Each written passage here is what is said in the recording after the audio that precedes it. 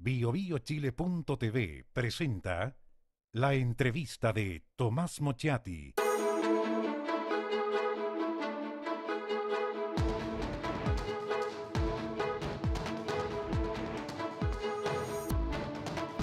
Buenas noches. Se enfrentó duramente a Julio Ponce Lerú bajo el gobierno anterior y lo dejaron, yo diría, bastante solo en esa pelea. Eh, ahora está dando otra, por el litio. El litio que está en el salar de Atacama. Eh, ¿Qué es lo que quiere? Que el litio siga siendo chileno y que no sea chino. O sea, enfrentándose al gigante con quien nadie quiere enfrentarse. Eh, Eduardo Vitrán, académico de la Universidad Adolfo Ibáñez, ex vicepresidente ejecutivo de Corfo, hasta hace poco nos acompaña esta noche. ¿Qué tal? Buenas noches. ¿Le ofreció Sebastián Piñera quedarse o no? Esa fue una conversación privada y las conversaciones privadas se mantienen privadas. ¿Se habría quedado? No. Ya. Ahí contestó. No, eso es una pregunta hipotética. Sí, pero, pero, pero conversaron y conversaron el tema, ¿no? No, no, no lo sé. Vamos con la pelea con los chinos. Eh, la importancia del litio, porque hay algunos que dicen, partamos observando el, el, escenario, hay algunos que dicen que el litio no es tan importante porque no va a tener tanto precio, que es una especie de ilusión que se va a usar, pero que hay mucho litio en el mundo. Otros dicen que es fundamental y que podría reemplazar como ingreso al cobre en el futuro, porque todo va a ser de energías limpias y por lo tanto se requiere acumular energía. ¿Qué tanta importancia tiene y va a tener el litio en el mundo? Primero, no hay pelea con los chinos.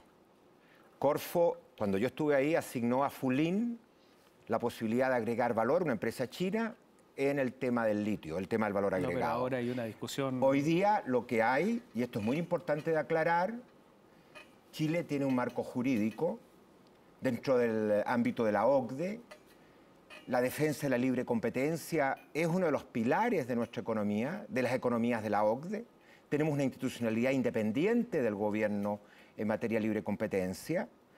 Y lo que hicimos ver cuando estábamos en la Corfo es que una eventual compra de una empresa específica, que ocurre que es China, podría haber sido de cualquier país, genera algo que está tipificado en la ley como eventualmente atentatorio contra la libre competencia. Eduardo, genera lo que se conoce como interlocking, es decir, que compañías intercambian propiedad y directores y que en conjunto adquieren una participación muy significativa del mercado mundial. Por lo tanto, lo único que hemos hecho es poner en manos de la autoridad de libre competencia los antecedentes para que tome las medidas correspondientes. Es que, ¿sabe? Como, como, no estamos hablando de zapatos, digamos, ni de camisa, estamos hablando del litio, no es cualquier cosa, eh, hay una diferencia. Y además es de interés público que tengan que no controle el 32% y yo sospecho que no solamente por razones de libre competencia, porque Sokimich es demasiado estratégica y la palabra estratégica, declaraciones suyas, es... Sí. Digamos, aquí hay una connotación especial y digo, hay una pelea con los chinos porque no solamente habló el embajador chino, el embajador chino amenazó por un medio de comunicación y además le dijo que a usted, por eso hay una pelea, que sospechaba que tenía motivos ocultos. Una acusación gravísima. No sé, me imagino que la leyó. Sí. Por eso eh, le digo, hay una pelea. No, está, no, no entiendo, no entiendo las declaraciones del embajador chino. De, de, verdad me cuesta comprenderlas porque acá no hay motivos ocultos. Eh, una de las formas en que yo abordé la complejidad del tema del litio y todo lo que le rodeaba, el financiamiento de la política y todo lo que estaba en ese entorno, es poner la posición de Corfo en forma muy clara y transparente desde el principio y los objetivos claritos. Acá hay una empresa que junto con Albemarle, que también explota el salar de Atacama, tienen el 35% del mercado mundial en Australia a través de la empresa Talison, son socios. Y si además toma una posición que podría llegar a ser controladora en Sokimich, que tiene el 23-24% del mercado mundial y que va a crecer fuertemente en participación, lo mismo que Albemarle, se generan tres empresas que se transforman en empresas que están vinculadas entre sí. El gobierno chino obligó a PCS, que controla una parte importante de las acciones de Sokimich, a vender su participación a retirar sus directores precisamente por ese interlocking, porque se produjo una fusión con Agrium. Y eso es que en ese caso, eh, PCS con Agrium no tienen más del 30% del mercado mundial. En este caso, lo que se produce hoy día es un vínculo del 70% del mercado mundial del litio y con las expansiones programadas, tres empresas que van a controlar el 80% del mercado mundial del litio se vinculan entre sí a través de estas participaciones cruzadas. Eso no solo es un problema para Chile, eso es un problema para el mundo por el tema del cambio climático. Efectivamente, la electromovilidad va a ser el factor fundamental junto con las energías renovables que va a permitir enfrentar el desafío del cambio climático y es fundamental que ese recurso estratégico que permite hacer las baterías de litio, las únicas que hoy día funcionan, las mismas baterías que van a permitir hacer baterías estacionarias para regular los sistemas intermitentes de energías renovables no convencionales, es fundamental que eso se mantenga en un mercado abierto, competitivo y transparente. Y lo que está a puertas de ocurrir va a afectar gravemente ese mercado y va a afectar también los intereses de Chile, porque efectivamente eh, a Chile le interesa poder desarrollar la electromovilidad en todo el mundo y le interesa que ese mercado sea competitivo. Para eso hay leyes Chile tiene, entró a la OCDE, las mejores leyes de libre competencia y lo que hizo la autoridad de Corfo en su oportunidad es poner estos antecedentes en manos de la autoridad responsable. Por lo tanto, aquí no hay politización por parte de la... Como dice el embajador chino. El que sí está politizando, obviamente, el tema es el embajador chino. A ver, para entender bien, Potash se fusionó con Agrium. Así es. Para controlar el 30% del potasio en el mundo y los chinos, el gobierno de China, también el gobierno de mm. India, le dijeron, no, esto es mucho, el 30%, por lo tanto desinvierta. ¿Dónde? En Chile. Así es, con nombre y apellido. Desinvierta en Chile. ¿Dónde más? En Israel. Sí. ¿Qué es lo que tiene que vender en Chile? Nutrien, ¿no es cierto? Tiene que vender la participación que ellos tienen en Sokimich. A través de Nutrien. Que, es Agrium eh, y Nutrien, y con eso, pero es, Agrium no, pero, Es, pero es muy interesante. Los chinos dicen desinvierta en Chile. Sí. ¿Y quién compraría solo sería una empresa china. Sí. Es, a ver, pero esto, el gobierno le dice desinvierta si usted quiere fusionarse, se fusionó, mm. le dio un plazo y el interesado es una empresa china. Sí. Ya, pero esto es como que el, rompecabezas empieza a calzar completo. Lo único que nosotros podíamos haber hecho cuando éramos autoridad en Corfo es poner esto en manos de las entidades responsables, que son la, entidad antimonopólica de Chile. Y eso es lo que hicimos. No queremos juzgar ni intenciones, no quisimos juzgar eh, nada, simplemente decir, miren, aquí hay una legislación que es de las mejores prácticas del mundo de la OCDE y obviamente esto tiene que pasar. Una ley de la República que se aprobó el año 2016 en que explícitamente se estableció que los interlocking es un tema que afecta a la libre competencia. ¿Te habló con el embajador chino, no? ¿Con su No. ¿Nunca lo fue a ver? ¿Nunca? no. O sea, mientras usted estuvo, estuvo callado el embajador. Eh, yo eh, hablé con la embajada china eh, con anterioridad, cuando estaba el, embajador anterior. Pero con este no. No, con este no. También hablé cuando vino la visita del cuando vino la visita del, presidente chino, hablé con el vicepresidente del equivalente a Corfo, que es la Corporación de Desarrollo y la Reforma. Y le hice ver la, preocupación que teníamos nosotros por el tema de Tianqi. Ahora, aquí se habla de China como si fuera una democracia y una dictadura. No hay empresa china importante que no obedezca a la nomenclatura china del Partido Comunista. Entonces, hablar de China como si fuera Francia, como si fuera Estados Unidos, eh, es un error. Es evidente, no son iguales. En tercer lugar, aquí se dice que un matrimonio dos cónyuges son los dueños y que dominan esta empresa, como si dos personas en China tuvieran esa capacidad sin el compromiso de la autoridad política, el Partido Comunista, de eh, actuar. Entonces, a mí me llama la atención que las autoridades políticas chilenas, incluyendo el actual ministro de, Minería, eh, digan, hablen de esto como si fuera cualquier empresa y cualquier situación, que no es ni cualquier empresa ni cualquier situación.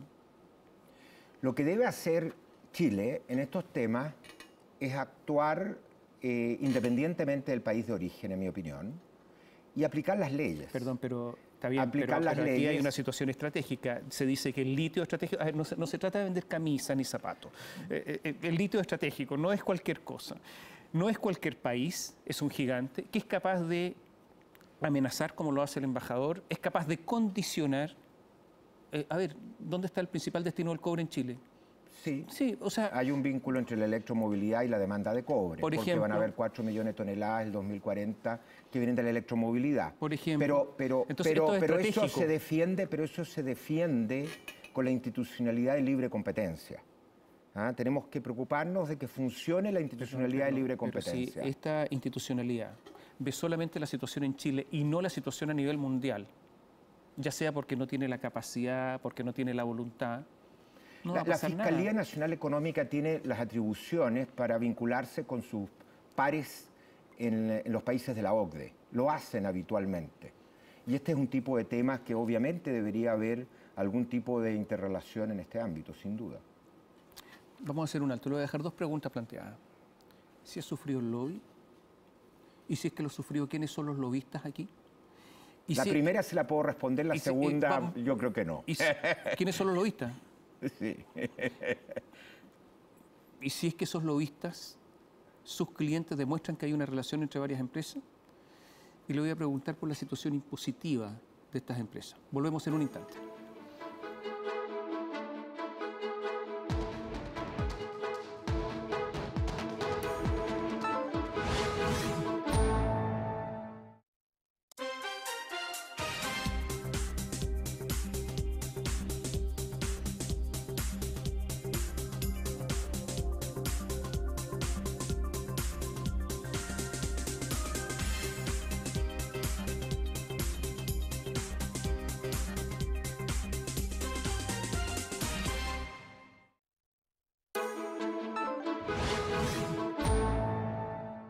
Con Eduardo Vitrán. Eh, quedaron preguntas pendientes, pero antes una anécdota a propósito de los chinos.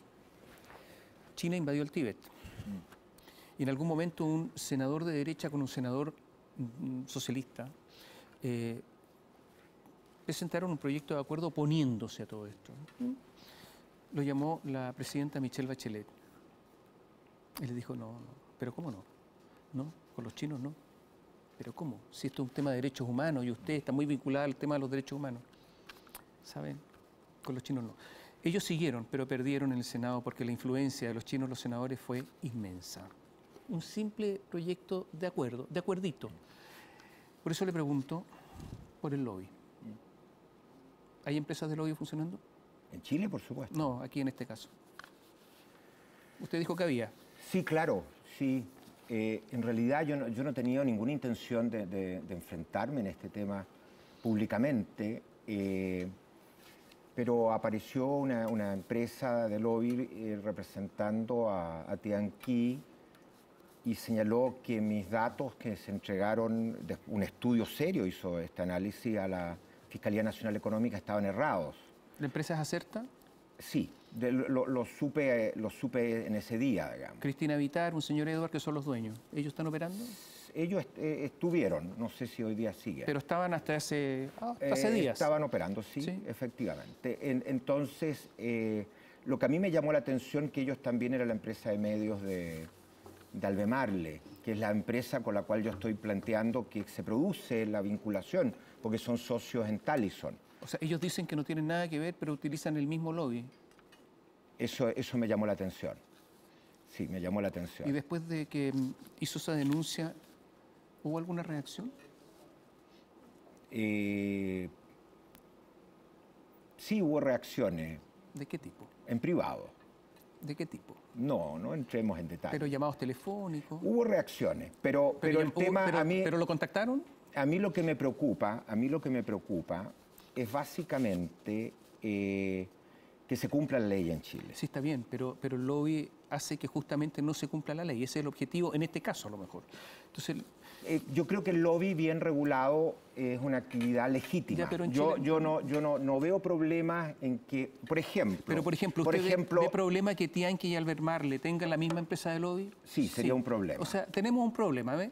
sí, sería Y- un problema. Y, y a usted lo contactaron.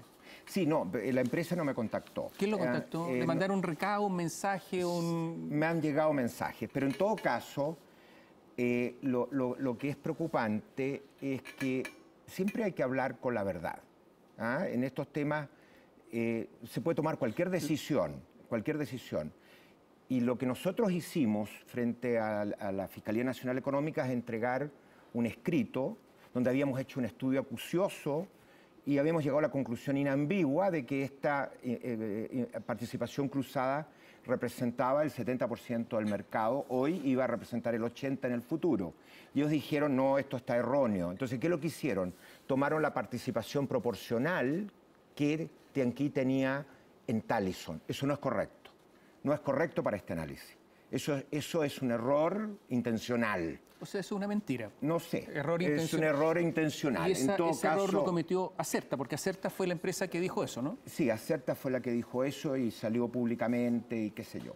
Entonces, a- ahí hay un problema. Eh, uno, el país puede tomar cualquier decisión, eh, pero hay que poner las- los hechos tal como son arriba de la mesa. ¿Cómo se llama? ¿Error intencional la mentira?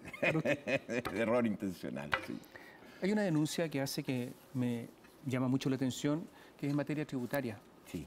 Eh, ha sido común que algunas empresas en Chile mineras vendan sus productos mineros a una matriz internacional a muy bajo precio Sí. y la matriz después la vende al mercado mundial y allá hace la ganancia en el lugar en que ellos quieren, donde constituyen esta matriz, donde pagan menos impuestos obviamente. Claro, eso afecta la tributación en Chile. ¿Eso hacen ellos o no? Hay una investigación hoy día en Australia, donde está esta empresa Talison que tiene el 34% del mercado mundial del litio, que son el principal competidor de Chile, que tienen el eh, mineral de espodumeno más grande del mundo, con las mayores reservas, y el, eh, el Servicio de Impuestos Internos de Australia a esta empresa que tiene dos socios, Albemarle y Tianqi, está siendo investigada por precios de transferencia por debajo del precio de mercado, lo cual estaría implicando una menor tributación que la que correspondería en el mercado australiano. Y eh, Corfo, eh, durante el periodo en que nosotros estuvimos, también solicitó al Servicio de Impuestos Internos que hiciera una investigación en el caso Albemarle eh, por presunciones similares. ¿Y qué pasó con el Servicio de Impuestos Internos, dirigido por Fernando Barraza? No sé, ¿Cómo? no sé. Pero no le contestaron algo, Eh, estamos haciendo tal cosa. Eh, eh, hubo dos momentos cuando se les expandió la cuota al Bemarle.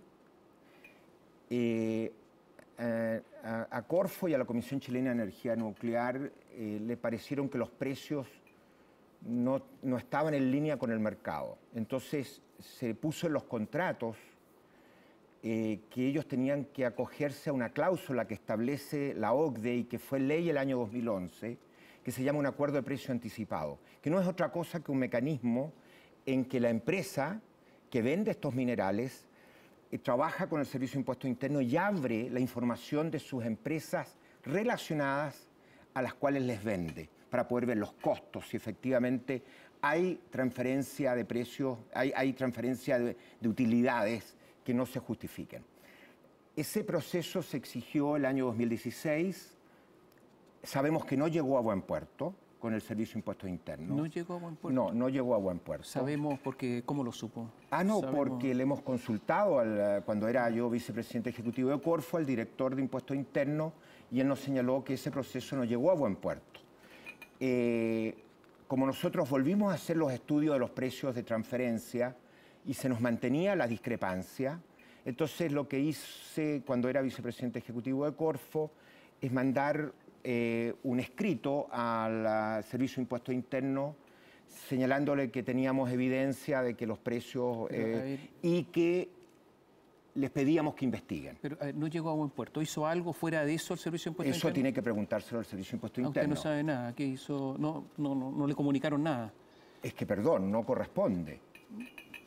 Ah, era un alto funcionario público. No, no, no, no, no eh, corresponde. El Servicio de Impuesto Interno es autónomo, uno como autoridad.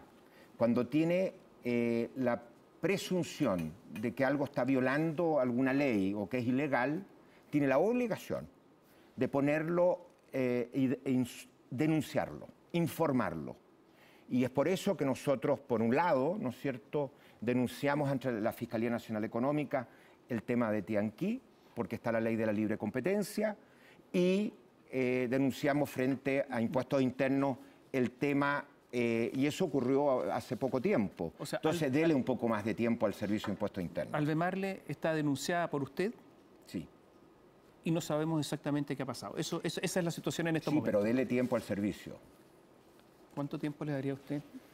Estos temas son complejos, el mercado del litio no es trivial. ¿Cuánto eh, tiempo yo, yo, haría, yo haría algo, hoy día, ¿sabe lo que haría? Yo tengo miedo al tema de los precios de transferencia. Supongamos que entra en esta empresa con el récord que tienen en Australia.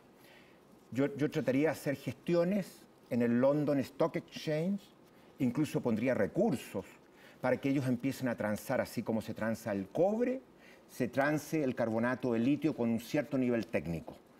Eh, y de esa manera vamos a poder generar transparencia en el mercado mundial del litio, que hoy día no la hay. Es un mercado poco transparente y, eso está afectando hoy día a Chile y lo puede afectar mucho más a futuro porque con los acuerdos que hicimos va a aumentar mucho la producción. Por lo tanto, yo prefiero que tomemos las acciones como país para protegernos. Esto es como el mar, ¿no? Eh, este asunto empresarial de estas grandes empresas. Siempre hay una más grande y por lo tanto siempre hay un pez más grande como el mar que se come al otro más chico. ¿Está asustado Julio Ponce Lerú? ¿Un adversario suyo? ¿Con los chinos? Sí. No sé, yo nunca he conversado con Julio Ponce Le digo por todas las acciones que ha tomado últimamente. No, él, él, él tomó a eh, Pampa, el grupo Pampa ah, tomó acciones, pero las echó para atrás. Eh, a mí me preocuparon esas acciones. Eh, y planteé públicamente que Corfo tenía que hacer los estudios, los informes en derecho para eh, vigilar que se cumplan los acuerdos. El acuerdo es muy claro. El acuerdo es el siguiente. Esta empresa originalmente era de esas empresas AFPables que se sometían a las normas de desconcentración de las sociedades anónimas abiertas que querían que se invirtieran las AFP fondo de la AFP. Y el año 2006, siendo esta una empresa desconcentrada, se hizo un acuerdo entre el grupo Pampa, que de acuerdo a los estatutos no podía tener más de tres directores y por lo tanto no podía controlar, con una empresa japonesa Kowa. Y la Superintendencia de Valores le aprobó, y de hecho hubo un litigio con PCS a propósito de ese tema. La opinión de muchos, la mía en particular, sin ser un experto, es que esa acción fue ilegal, porque esta era una sociedad desconcentrada y se estaba violando al menos el espíritu, pero yo creo que también la letra de la ley.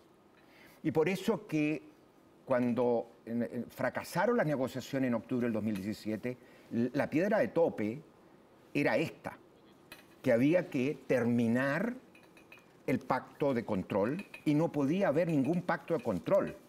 Entonces, de esa manera nos asegurábamos que el espíritu y, en mi opinión, la letra de la ley se cumpliera, que es que esta fuera una sociedad desconcentrada. Eh, y eso es parte central del acuerdo Corfo-Pampa. Eh, y por lo tanto hay que supervisar que no se tomen acciones como cambiar el, eh, los estatutos de la empresa que violen el acuerdo. Eduardo, eso es lo que está tratando de hacer justamente Julio Ponce. No lo sé. Eh, tratar de cambiar los estatutos. Sí, cambiar los estatutos, pero no estoy seguro, no estoy seguro, se lo digo, y en esto yo no tengo pelos en la lengua, que eso esté violando el acuerdo de Corfo. ¿Ok? Hay una amenaza hacia SQM como empresa chilena, no hay ninguna duda. Nosotros somos abiertos a la inversión extranjera, pero en este caso hay un tema de libre competencia que está afectando y que va a generar conflictos de interés entre los intereses sociales de la empresa, de Corfo, del país intereses de empresas que son competidoras en Australia, que es el caso de Tianqi. Eduardo, estamos, terminando. Eh, ¿Sí o no? ¿Confían las autoridades de este gobierno para que sigan dando esta pelea o no? ¿Sí o no? Les doy el beneficio de la duda. Porque el ministro ayer, Le doy el beneficio ayer el la ministro duda. de Minería dijo que no le creía a usted. Ah, que no me creía. Sí. ¿Qué cosa no me creía? No le creía que iban a concentrar el 70%. ah, no, eso es un nada. hecho. No, Eso es un hecho. No logró convencer al ministro. Ah, pero, pero por favor, eh, eh, Talison tiene el 34%. Estos son datos de Acerta, de la, de la empresa de lobby. Talison tiene el 34% del mercado mundial del litio. La- datos de ellos, lo que ellos entregaron en el memo que le entregaron a todos los medios de prensa. Tiene eh, 14% o 13% Albemarle, Sí. 24% SQM, sume y da más de 70%. Pásele el recado al ministro para que sume. Muchas gracias. Gracias a usted. Eduardo Vitrán nos acompañó esta noche. Buenas noches. Gracias.